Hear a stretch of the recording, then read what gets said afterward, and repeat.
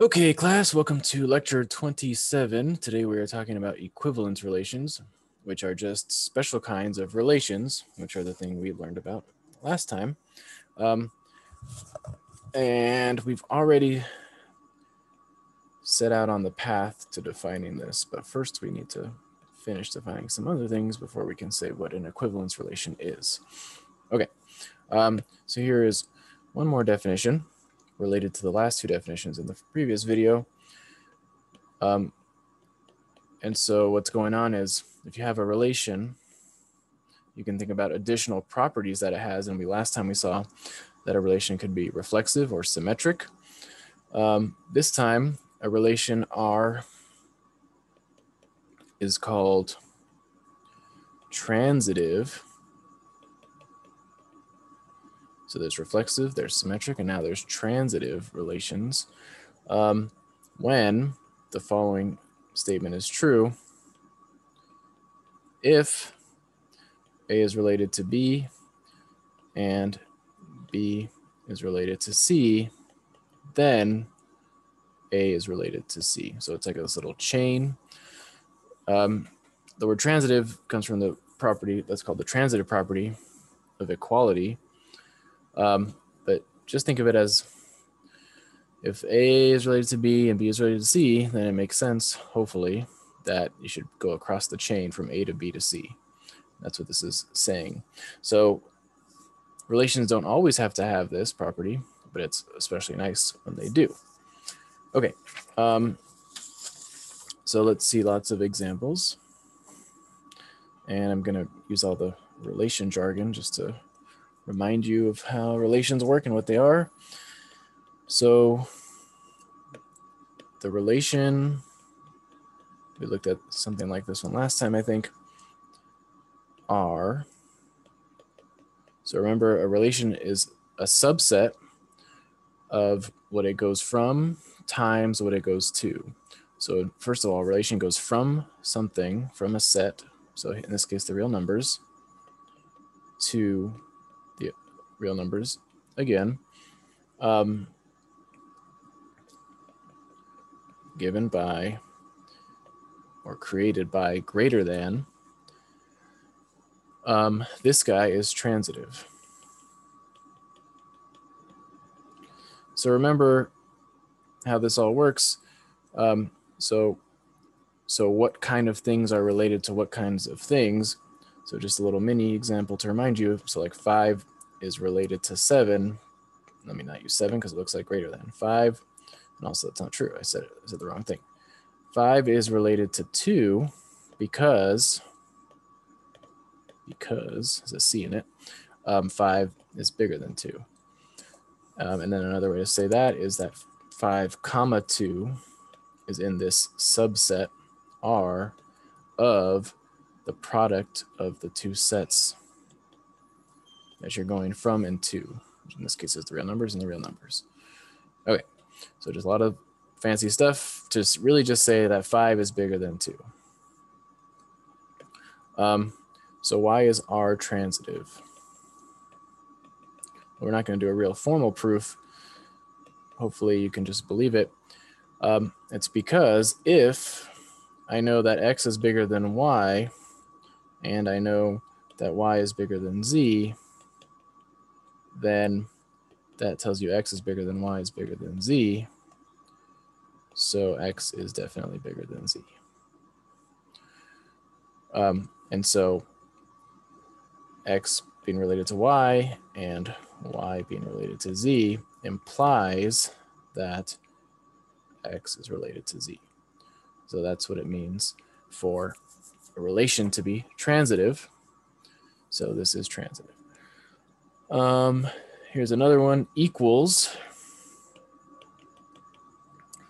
Equals is also transitive. Because now saying things a little bit quicker in a quicker way, um, just because if A equals B and B equals C, then it is true that A equals B equals C, so A equals C is true. Um, now I'm leaving out a lot of words here. So e equality is a relation from the real numbers to the real numbers again. And so you create a subset R by using equals to determine when two things are related. And the subset R has the property that if A comma B, you can say it just like this, is in R and B comma C is in R, then A comma C is in R. It's another way to say transitive property because this is exactly the same as saying A is related to B. And this is the same as saying B is related to C. And this is the same as saying A is related to C. Okay, so many ways to say the same thing. Um, what's another example of a transitive relation? Um, divides.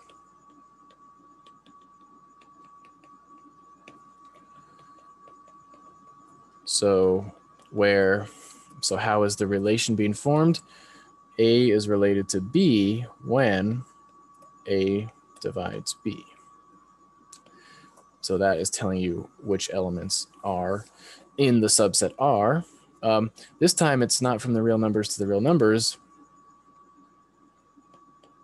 because we don't talk about the word divides in the context of real numbers. We just talk about it context of integers. So really this time it's from Z to Z. So R is a subset of Z times Z. Just to remind you of how this notation works. Okay, um, this one will actually prove, and it'll sort of give you like a proof structure if you want to prove other relations are transitive. So let's prove that this is a transitive relation. So what this really means is we need to show an if-then statement. So we got to prove the following. If A is related to B and B is related to C, then A is related to C. But in the context of R, the relation being given by divides. So we're just going to translate this. If A divides B and B divides C, then A divides C. So this is what we really need to show to show that the relation is transitive. So we don't really think about how this is really coming from some fancy concept called a transitive relation. Once we get started on the proof and we realize this is all I'm trying to prove, this is not so fancy. We learned this kind of stuff a long time ago, actually. Um, and so this proof I could have asked you to do a long time ago without saying all this fancy stuff.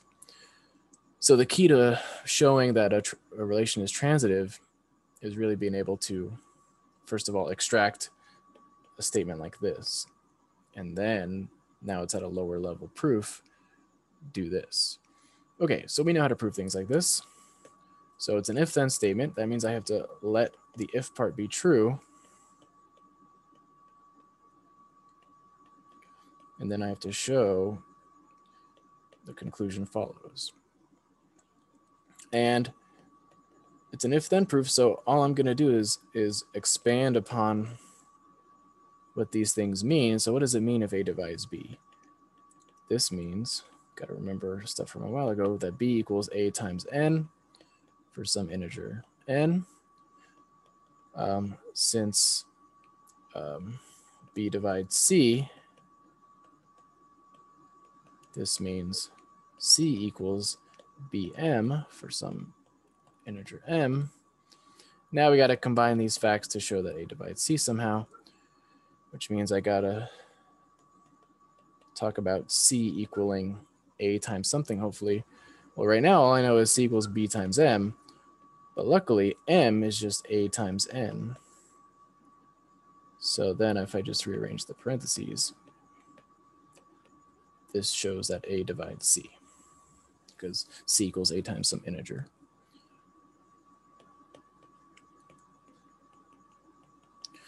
Okay, so this is how a proof that a relational is transitive will typically go. something like this. Um, so we are going to do another one for extra practice right now. Okay. So, so this relation is transitive, divides, and now let's talk about the new relation we learned about last time called mod. Congruency mod n is also a transitive relation. So remember what this means. A is congruent to B mod n when n divides A minus B. And so when this happens, this is when A is related to B. This is the relation that you create by using congruency mod n. Okay, so to show it's a transitive relation, we're going to follow basically the same steps. The hard part is sort of setting it up. So what I'll do still is I'll still just write the definition of a transitive relations. So we must prove, we want to show, an if then statement. If A is related to B and B is related to C, then A is related to C. And then I'm just going to translate this into the relation I'm actually dealing with, congruency mod n. So this becomes if A is congruent to B mod n and B is congruent to C mod n, then A is congruent to C mod n. That's what I'm trying to show. So that this chain holds. A is congruent to B, B is congruent to C. Hopefully A is also congruent to C because it uses B as like a middle ground to get to C. Okay, um, so the key to actually proving it, as usual, is always to just say what things really mean. So this is going to come in handy a lot because this is what it really means for A to be congruent to B mod n. But then we know all about divides. This really means that A minus B equals n times x. So that's what we're going to be saying a lot over here. Okay. So let's do that. Since A is congruent to B mod n, what does this actually mean? This means that n divides A minus B, which doesn't tell us enough yet. So let's say what that really means. I'll just say it underneath. Really means that um, a minus b equals nx for some integer x. And I'm just going to do that for, for b being congruent to c mod n because that's also in the assumption. Um, so I guess I didn't write let, but sorry. So in between these two steps should really be let this happen and let this happen. Okay. Show that this will happen. Okay, so since the first thing happens, this is what we get. Since um, B is congruent to C mod n, we get to say something there too. This means and divides um, B minus C, which really means something more useful, that b minus c equals ny for some integer y. Um, and this is where scratch work comes in handy because the idea is now is I want to somehow put this, this and this together to tell me that A is congruent to C mod N. So secretly on the side, I say, what does that really mean? Because this is what I need to do. Well, I need to get N equals A minus, or sorry, oops, got it all backwards. I really need to get that um, a minus c equals n times something, and I don't know what that something will look like yet. So I really need to look at a minus c. So how can I combine these two equations so that a minus c appears? Well, actually, it's already set up quite nicely. If I just add the two equations together, what, what do I get? I get A minus B. So if I add both left sides together, I get that. And if I add both right sides together, I get that. Aha, we're just about done.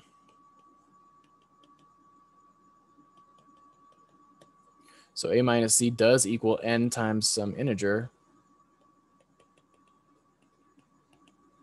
So um, n does divide a minus c. So a is congruent to c mod n is the conclusion.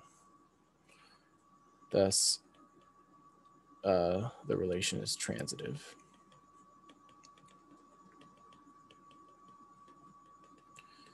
Okay, so that's good. Um, but next, we're going to put this together with what we did last time. So recall that we showed congruency mod n is um, also a symmetric and a reflexive relation.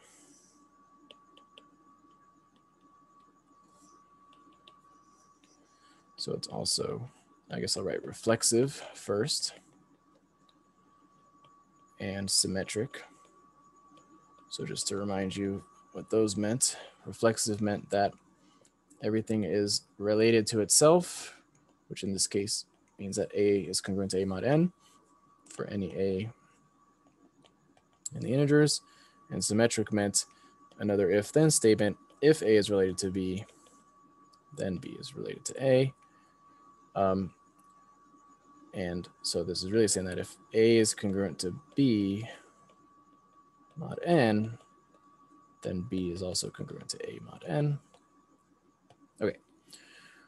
Um, so I think I make you prove that in the lecture problems, actually. I don't know if I did it in the video. Okay. But in any case, um, we have that it's reflexive, that it's symmetric, and that now it's transitive. So this leads us to a new definition a relation which is which has all the powers that you possibly want. So it's reflexive, symmetric, and transitive. It's a super ultra ultimate special relation. So it gets its own name. It's called an equivalence relation. So the name is a very good name because what's really going on is when you have a relation like this, what it does is it forces some elements to sort of be the same as other elements for all intents and purposes. So like we actually did see that last time and we'll go through it again. The idea is that all the numbers that are the same mod n are not equal, so we don't call them equal, but they do all the same things, and so we're going they're called equivalents, uh, equivalent. And so the idea is that this relation creates an equivalence between your elements in the sets. Uh, so that's the fancy stuff. Um, and we'll do an example to, to nail it down. But first, let's just summarize the ones we've already seen. So this guy, mod n, uh, congruency mod n is an equivalence relation.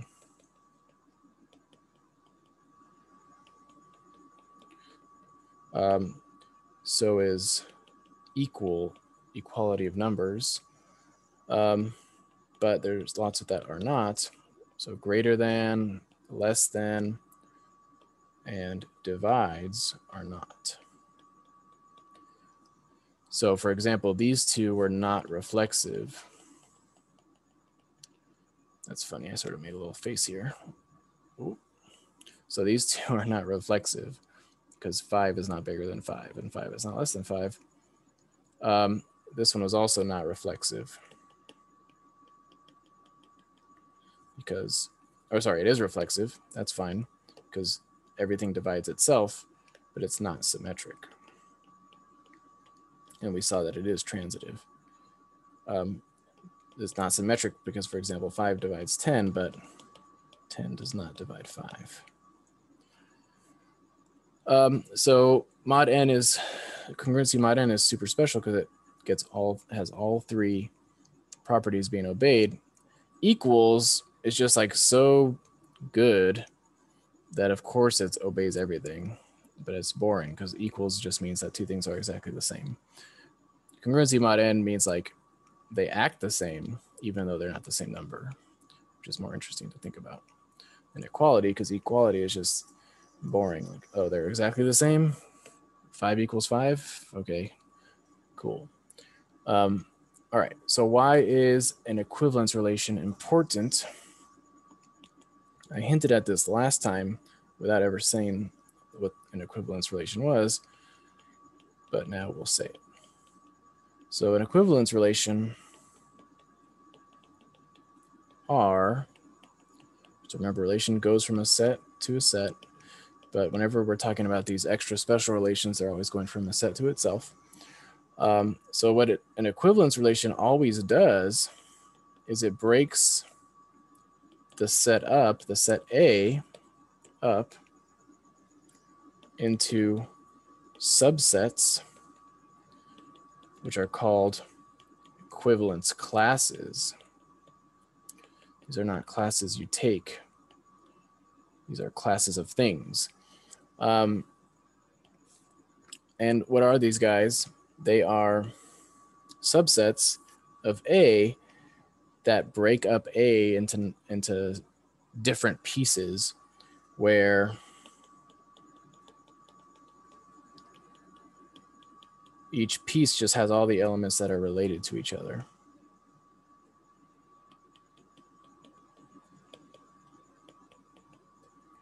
So we'll go through an example. Um, very good example that we already saw last time, sort of. But but but here's the point: A gets chopped up into bits, and say it gets chopped up into like five subsets or something. None of the subsets will overlap, so they'll all contain different elements of A. And each subset will consist of all the elements that are related to each other. Okay, so let's see an example using mod n, um, but we'll be even more precise. Let's use mod 4. So congruency mod 4 from z to z supposedly should break z into um, subsets. In fact, it's going to be four subsets.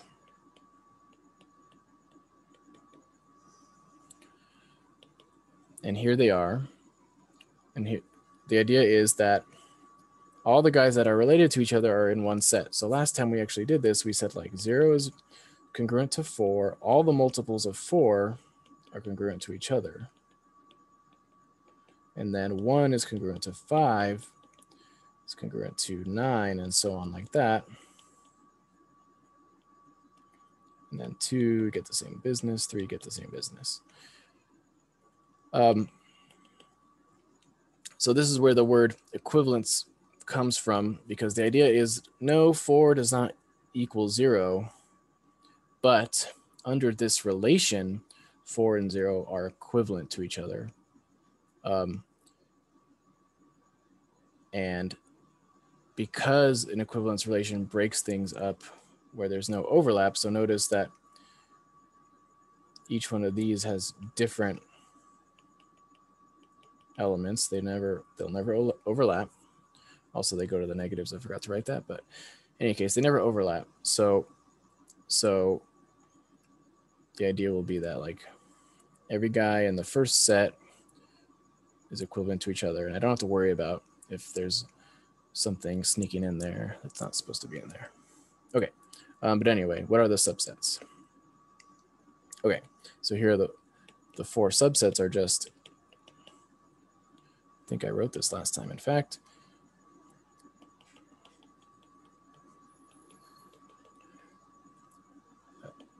The four subsets are just the subsets consisting of elements that are the same, that are equivalent under this relation. So uh, I want to do subtraction? So you, you figure out the negative one there if you want. So then we get these four sets. Um, so these together make up all of Z, but they're all disjoint from each other, meaning they have no intersection.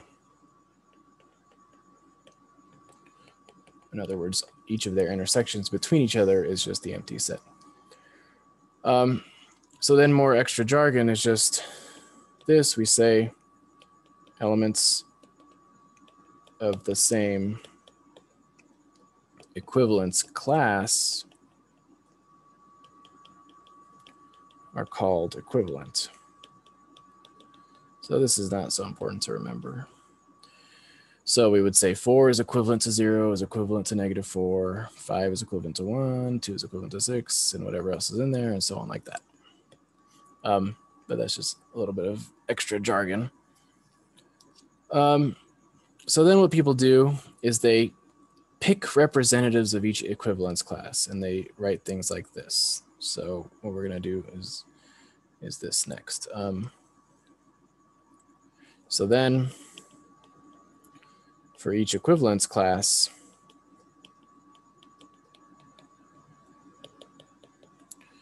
we don't always want to write a giant set every time.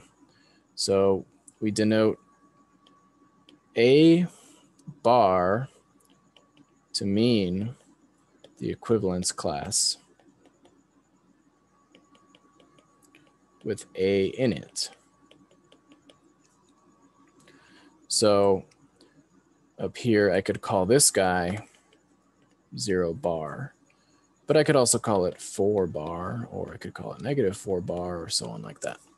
Whichever one you want to pick as your favorite element in the set. This would be like one bar, this could be six bar, two bar, three bar, whatever you want to pick. Um, so that's just extra jargon, um, which will come in handy later.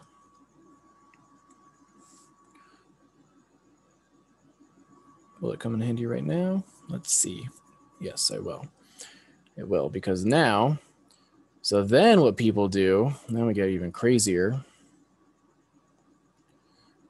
So then people study the set of equivalence classes. So they take the equivalence classes that they just created by doing this process, which really comes from using a relation to break up the set into pieces, to subsets called equivalence classes. So now what they do is they consider a set consisting of whose elements are the um, equivalence classes. So in this situation, they would write something like this. So here,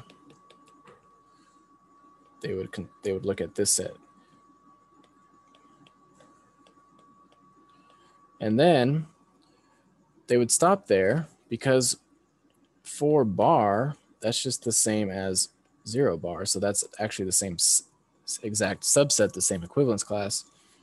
Therefore, it's the same element of this set. So I don't need to, so I don't need to write it. So if I want to consider the set of all the equivalence classes, it's just going to have these four elements in there.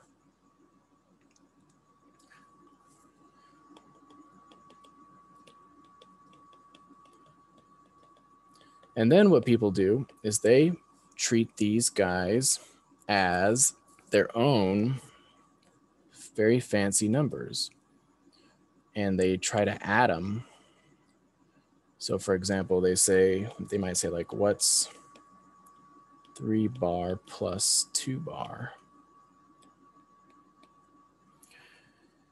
Um, so then very smart answer would be, well, how about five bar?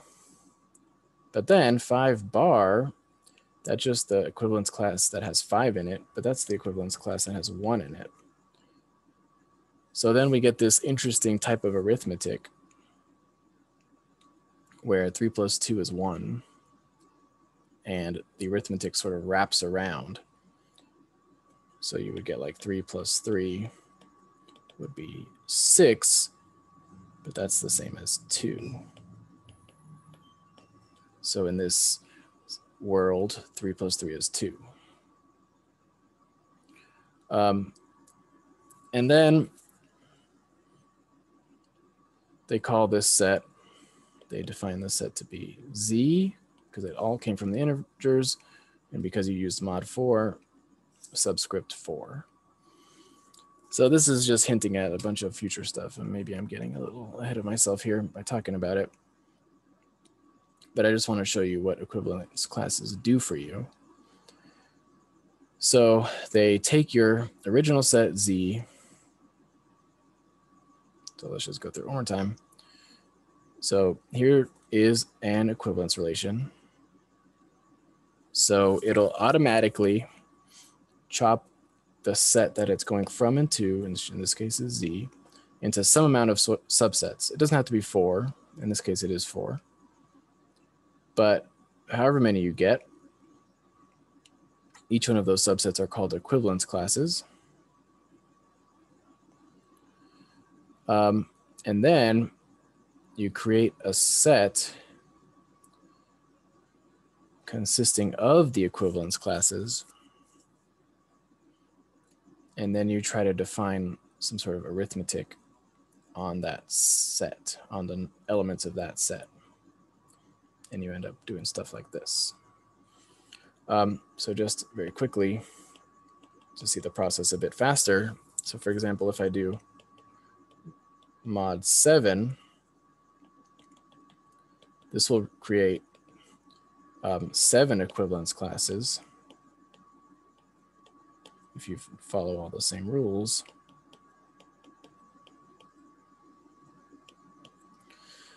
And then Z7 would be the set of these equivalence classes. I don't know why I wrote them vertically over there. I should just wrote them right here.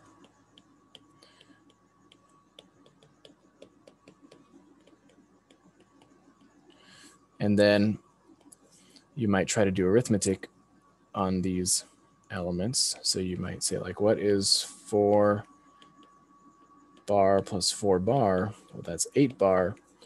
So then you go and you look and you say, where does eight, which equivalence class is eight in? Eight is congruent to which one of these mod seven? Um, well, I could do that one in my head. It's one because eight minus seven. Eight minus one is seven. So eight minus one is congruent, is uh, divisible by 7, so a is congruent to 1. So that's why this would be 1.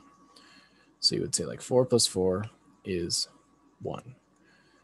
But all this is really just clock arithmetic. This is just clock arithmetic on a clock with, in this case, eight numbers, but it would be whatever n is, and the previous one would be four. Um, so you can create clock arithmetic with any number of numbers, not just 12, in this way. Okay, I think I got a little ahead of myself. That was too much fun. Um, so next, let's just say some facts about equivalence classes in general. Um, so here's a theorem. So not just for mod, but for any equivalence classes, this is how everything will work. Let A be a um, non-empty set, so it's got to have at least one thing in it just to, to not be too annoying. And R be an equivalence relation from A to A. then these facts are true. Um, for every A and A, A should be in the equivalence class of A. So this is just because R is reflexive by definition of being an equivalence relation, it's already, so it's not a formal proof, but it's already reflexive so A is related to A. And a bar is the equivalence class. It's all the things which are equivalent to A. And since A is equivalent to A, it's in here. So that's the mini proof. You can write up a nice one if you want. Um, two, for any two elements in A, if A is related to B, then they give you the same equivalence class.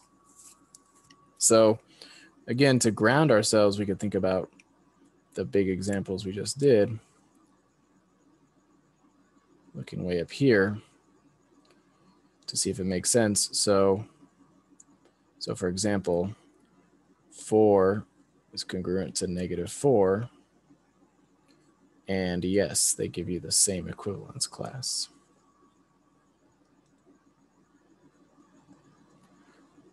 So why does this work more generally? Um, let's see, if I want to try to prove it off the top of my head, no, I'll, just put it in the lecture problems instead. Don't want to fail on camera, embarrassing. Don't want to be a TikTok or something. Um, so the last property is that either the two equivalence classes are the same or they're completely different, meaning they have no intersection at all. Um, they have nothing in common. And that's exactly what we saw in that earlier example happening. Oops, past or not. yeah, there it is. So yeah, so either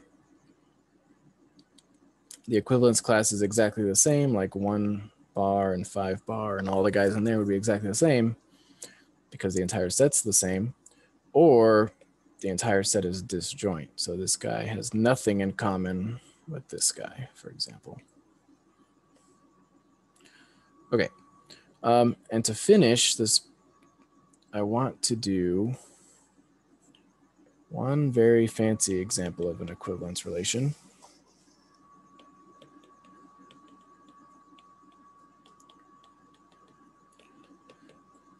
I'm just going to share it with you. So it's an equivalence relation on the rational numbers. So it goes from from Q to Q. Um, and it's going to be defined in this very weird way. So rational numbers, they look like a over b, right? Where a and b are integers and b is non-zero. So we're going to say that two fractions, two rational numbers,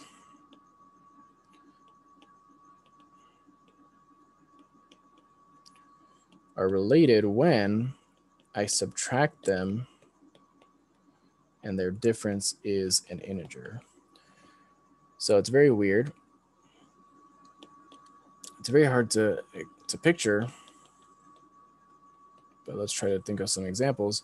So for example, 3 fourths is related to 7 fourths because if I do 3 fourths minus 7 fourths, I get negative 4 fourths, which is negative 1, which is an integer. So those two are related. Um, but in general, it's very hard to like picture all the things that are related and it's not going to break up Q into like five pieces or something like that, something nice. There's going to be infinitely many equivalence classes. Um, but I think in the lecture problems, I'll try to get you to prove some stuff about it. Okay, because I'm tired. So that'll be the end of this lecture. See you next time.